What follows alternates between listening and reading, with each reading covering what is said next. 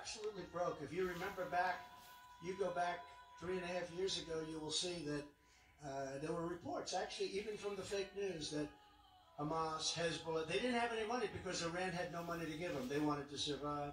And I, I didn't want to be better. I just didn't want Iran to have a nuclear weapon. I said, you know, we're going to make a great deal. Everybody's going to be happy. You're going to be rich as hell again. Everything's going to be great. But you cannot have a nuclear weapon. Now they're 31 days away from having a nuclear weapon. These numbskulls have done nothing. They had it, would have been such an easy deal. They wanted to make a deal. And then because of the results of the election, they said, let's wait it out. Nobody ever contacted them. They're going to have a nuclear weapon in 31 days, the, the likes of which the power of nuclear weaponry is uh, not describable. Actually, it's not describable. And that's where we are right now. This country has regressed to a point that it's so embarrassing to even talk about when you look at what's happened. Just three years, a little more than three years, uh, what's happened to our country is so sad to see. Nikki stabbed the Republican Party in the back by siding with Barack Hussein Obama against the Trump travel ban, which kept us safe. That travel ban was a it was a gift from God. It kept us safe as a country. We didn't have the problems that other countries had.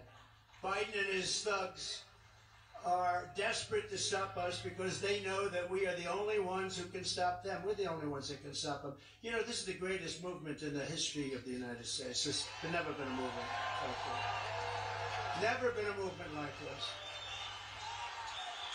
Never. In an interview yesterday, a very sad interview actually, Attorney General Merrick Garland head of Crooked Joe Biden's Department of Injustice, actually stated that he wanted to speed up the so-called election integrity witch hunt against President Trump. And I say, if he wanted to do that, why didn't they file the lawsuit three years earlier? Because they wanted to have it right smack in the middle of the election. You know when it comes to? They want to start the trial, and I think it's going to be delayed very substantially because of all the things you see happening including what's happening in Georgia with the horrible case of Fannie Willis. It's, it's actually pronounced Fani. It's F-A-N-I, but you pronounce it Fani, a little French accent there. Fani. But that's a terrible thing. But so Merrick Garland, I didn't think he'd be like this because I understood it. You know, looked at him. He, to me, he was a very respected uh, justice, judge, very respected for a long time. I never thought this would happen with him. He was liberal, but he was a respected guy, and I never thought this would happen, but he wants to speed it up. But I say they want to speed it up. They could have started it three years ago. Three years ago. This would have been over two years. And uh, now they want to speed it up. You know why they want to speed it up? Because I'm leading in the election. This is election interference at a level that nobody has ever seen before. It's because they know that I did nothing wrong, and they want to get going. And it's, by the way, uh, and by the way, what the hell ever happened to the Biden boxes deal? What's with Biden boxes? Where did that ever go? They kept saying Trump, they raided Mar-a-Lago. You remember they raided my home. How would you like to have your home raided? Nice home. They raided my home. Whatever happened? Remember he kept classified documents under the wheels of his Corvette. He loves that Corvette in an open garage with no security? Whatever happened? Let's check that. Whatever happened to Biden, the Biden box? He had massive numbers. He, he was taking stuff when he was a senator, which that you're not allowed to do. I was protected by the Presidential Records Act, by the way. But whatever happened to that boxes deal with, with Joe Biden? And why isn't Garland going after the ones who rigged the 2020 election why is he always going after the ones who are complaining about the rigging? They only go after the ones complaining. Now we have to have we have to have honest elections in all these cases. Biden and Garland were weaponizing law enforcement for really high level election interference. That's what they're doing now. He's got nothing he can run on. He always says, Donald Trump is a threat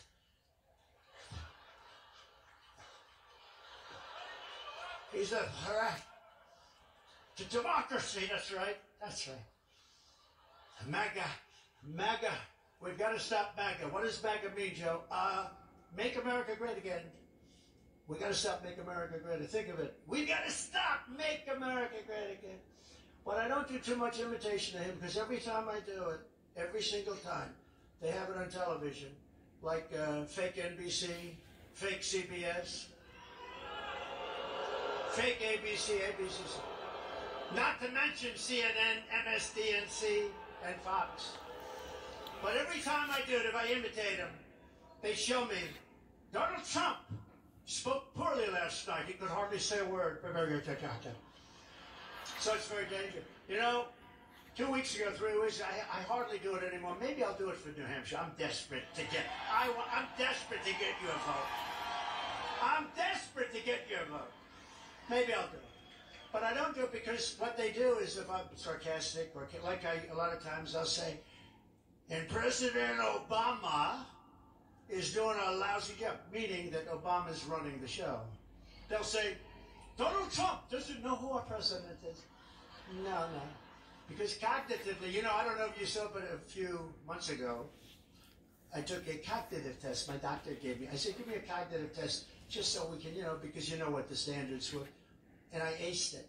I also took one when I was in, but I also took one when I was in the White House. No, I'll let you know when I go bad. I really think I'll be able to tell you. Because someday we go bad. But you know, I've had, and they always say, like, like Haley, she talks about, yeah, we don't need 80 year old. Well, I don't mind being 80, but I'm 77. That's a big difference. Okay. But I have people, I have one friend who became a very rich man, became a billionaire. His whole life he didn't do well. He was in a certain business, didn't do well. He turned 80. He made a billion dollars between the age of 80 and 90. He made all his money from 80 to 90. They always like to mention age. It's not age, different people, different strokes, right? But what it is is, think of that, made all of his money. I know people that are 90, I know one person, 94 years old, a phenomenal, his mind is as sharp as it's ever been. I feel my mind is stronger now than it was 25 years ago. Is that possible? I really do. Now, Biden can't say that. Look, you know he can't say that. You know he can't say that. You know there's something going on. But when I imitated, so a few weeks ago, I imitated, because you, as you know, he can never find the stairs. You know how many stairs? One, two. We have two on the side. Three, four. There's one back here, then there's an emergency. You got like six or seven. This is not a big platform. So I imitated it, and everybody had a great time. You know the way he finishes the speech? The speeches usually last about two minutes, yeah? Thank you. Two or three minutes. They're not long. This is not Winston Churchill. He used to speak for never have so few done so much for so many. Do you know what that was about the Spitfire? He was a slightly good speaker. But this isn't Winston Churchill. But they last very, very short periods of time because the energy runs low. You know, it's got a something going on there. The key with him is to get him going for a long period of time. Let's see how it looks. But when he leaves, he always, you ever notice he always points? He goes, thank you. He always goes, like the Heisman Trophy. And then, but he leaves, and so I, I had a wall. We'll pretend that's a wall back there, but they had a wall. I don't think there's a stair in the back, so he would find that area and set it. But you know what? So there's a wall, and I, I imitated him going to the wall. And everybody cracked up. We were all having a good time. And the fake news said Donald Trump was embarrassed tonight. He couldn't find his way off the stage. Can you believe? No, no. They are the most dishonest people. You know the thing. You know the thing where they, we talked about a dictator. Donald Trump wants to be a dictator. So Sean Hannity, who's a fantastic guy, by the way. Sean Hannity, I did a town hall with him two weeks ago. And he said, all right, let's put this to rest. He thought he was doing me a favor. And I wanted to be cute. I always got to be cute. He said, listen, you don't want to be a dictator or anything, do you? I said, Sean, I only want to be a dictator for one day. And I'm going to be a dictator, Sean, for one day. And I'm going to close up the border and I'm going to drill, baby drill, and after that I'm not going to become a dictator. Right? So here's what the fake news does. It's so horrible. So I said, I want to be a dictator for one day, and then if you go on just like 10 seconds, it says the two things, right? We're going to have a great border, we're going to Drill, baby, drill. Those two things. We're going to have energy. It's going to be. We're going to make so much money. We're not going to have to worry about your social security. So I said those two things. I said, I'm going to be a dictator, and they cut it. So all over television said, Donald Trump wants to be a dictator. Listen, to it. I'm going to be a dictator, cut. Now that's really. And I said, for one day, and I did, I did also finish and said, and then after that, I'm not going to be a dictator ever again. So we were having fun, and they've got me, they've got me saying I want to be a dictator. These are sick people, I'm telling you. We have to straighten out our free press. But Joe Biden, Joe Biden, Joe Biden is a threat to democracy for a number of reasons. Take a look at what he's doing with weaponization. What he's doing with the weaponization that we just discussed is terrible. But he's a threat for another reason, very big. He's grossly incompetent. That's the biggest threat that we have to democracy. We're going to end up in World War III with this guy running things. And you know, it's interesting. Until I got indicted, I never talked this way about him. I, you probably know. Until I got, who is his Azir friend? You can get him out of here. Get out of here. Get out of here. Go ahead, you can throw him out.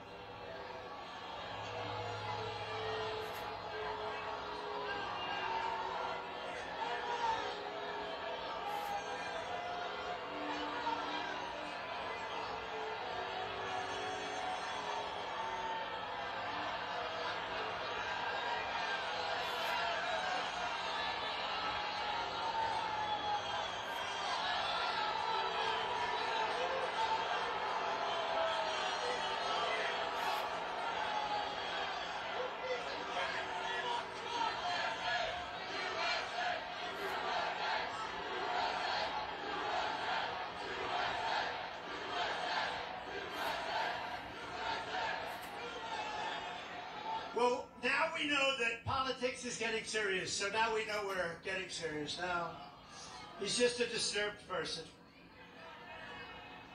Remember that used to happen all the time? People used to call for it. Where is that? We want it back. But now, probably we're we're really now into political season, and that is happening. It's happening, and the people in this room know what, and he probably knows too. And a lot of those guys, by the way, are paid by Soros and these people. You know that. They're, they're troublemakers. A lot of those people are paid. They go outside. In fact, they're MAGA people, but they can't help it. They say, look, you gave me, I said, do what you're doing. This is only happening, all of this, because all of the weaponization, because we're leading so much in the polls, especially if you look, we're leading her by a lot. Ron is probably finished. He's probably finished, sad. May he rest in peace. In the new Redfield Wilton poll, just came out a little while ago. It's Trump 72%, Haley 9%, and DeSanctimonious 9 But that's why you have to get out and vote, though. We have to keep those margins. In Nevada, we're going to be there next week. You know we're going to get in Nevada? 100% of the vote. 100%. You know why? They looked at the polls and they decided we're not going to play there. So next week is Nevada, great state, and uh, DeSanctimonious just announced he's pulling out of Nevada. In South Carolina, you just saw all of the leaders, just about everybody. We have almost everybody. Respected pollster, very respected guy. Tony Fabrizio, have you ever heard of him? He's Italian by persuasion. I think. But you know, he's a great pollster. John McLaughlin, great pollster. There's some great pollsters. Tony Fabrizio has it here 64, think of it. Trump at 64%, Haley at 25%, Ron DeSantis. What the hell happened to it? 8%. We're leading in New Hampshire, but take nothing for granted because polls only matter if you get out and vote. You have to get out and vote. The polls can be so disruptive. You know, I used to get polls like in Wisconsin.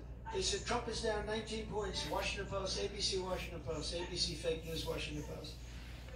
And they used to go and they had me down actually 18 points. Trump is down eight. I said, it can't be. Wisconsin's a great state. I just gave a speech. We had 38,000 people. There's no way I'm down 18 points. And our polls said we were doing well there. I ended up winning that state. And I went to John McLaughlin, the great pollster. I said, how could they say I'm down 18 and I end up winning in the election, winning it? I said, why don't they say five or four or three? He said, because at three or four or five, you go out and the people say, I'm going to go and vote. At 19 or 18 or 17, they say, darling, let's stay home. And who can blame them? They don't want to go out and vote. But when you're down like anything below five, and he told me this, I didn't realize it. So they'd rather ruin their reputation. They'd be down 18 points, something like that. So they'd rather ruin their reputation for the next cycle than say he's down 2% or he's up 1% or whatever it is. I ended up winning. But I said to him, what does that mean? He said, you would have won by much more because many people, when they saw 18%, they say no. The pollsters are just as dishonest as these people back here, which is saying a lot. We're also dominating crooked Joe Biden in the general election. We're up eight points over Biden in the new Rasmussen poll that just came out. While Haley, Nikki Haley is getting clobbered in that poll. The radical left Democrats rigged the presidential election of 2020, and we're not going to allow them to rig the presidential election of 2024. Every time the radical left Democrats, Marxists, communists, and fascists indict me, I consider it a great badge of honor. Because I mean, it's, it's so true. It's so true. These people, what they do, it's really backfired on them, I guess. Because I'm being indicted for you, and never forget, our enemies want to take away my freedom because I will never let them take away your freedom. I will never let that happen. They want to silence me because I will never let them silence you. And in the end, they're not after me, they're after you. I just happen to be standing in the way. I am in the way. I always will be. We're delighted to be joined tonight by Hillsborough County Attorney John Coughlin, Belknap County Sheriff Bill Wright, RNC National Committeeman Bill O'Brien, Congressman, he's a very low-key individual, Congressman Matt Gaetz. Hello, Congressman. Where's Matt Gaetz? Hello, Matt. I didn't know you were going to be here, Matt. Wow. Hi, Matt. And a man who is the greatest mayor in the history of New York City with great courage, Rudy Giuliani.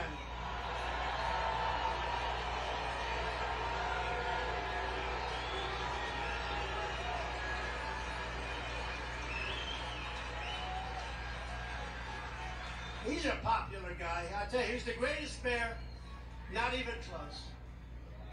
From the very first day that we take back the White House from crooked Joe Biden and his band of radical left lunatics, I believe we are going to have four of the greatest years in the history of our country. We had the four, we had we had the greatest economy in history. Think of all the things we did. Rebuilt the military, biggest tax cuts ever, biggest regulation cuts ever. The next Trump economic boom will begin on November 5th, 2024. That's what's going to happen. And we're going to bring America together through unprecedented success. You know, when we were just prior to COVID coming in, and we did a great job, didn't get, we got credit for economy, we got credit for military, we got credit for foreign policy, never got the credit that we deserved. We had this horrible scourge coming into our country all over the world, all over the world, people dying all over the world. We never got the credit. We did a great job with the ventilators and all of the things we did, but we never got it, and it's uh, just incredible. But four incredible years under my leadership, we built the single greatest economy. Think of it in the history of the world. This, our country has never been so successful, especially in that period, that long period of time before the China virus came to our shores with record low unemployment rates for African Americans, Hispanic Americans, Asian Americans, veterans, young people, old people, people with diplomas, people without diplomas, people that went to MIT, like my uncle who was there for 40 years as a professor, the longest serving professor. Rudy, did you know that my uncle was at MIT, Dr. John Trump, for 40 years? He's the longest serving uh, professor in the history of him. He had three degrees. One wasn't good enough for him, but he was great. He was great. My father's brother. Think of it. We had gas prices at a dollar eighty-seven a gallon, and there was no inflation. We had no inflation. Energy caused inflation. Energy caused inflation. Together, we ended the NAFTA disaster, the worst trade deal ever made, and we replaced it with the brand new USMCA, the best